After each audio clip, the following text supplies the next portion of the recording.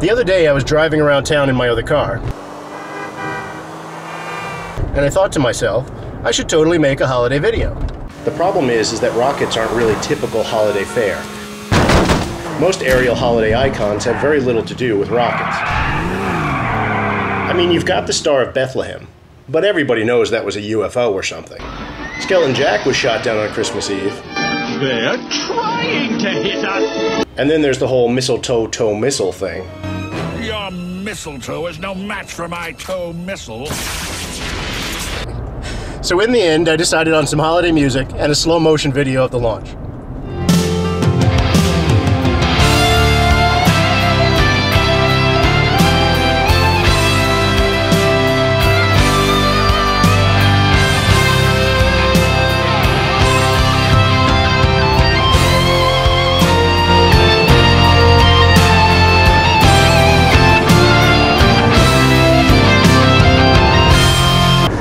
Alright, that wasn't the best holiday video ever.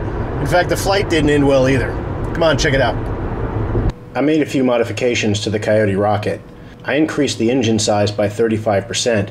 The fins were moved up to reduce drag, and an extra 6 feet of rail was added to the launch tower.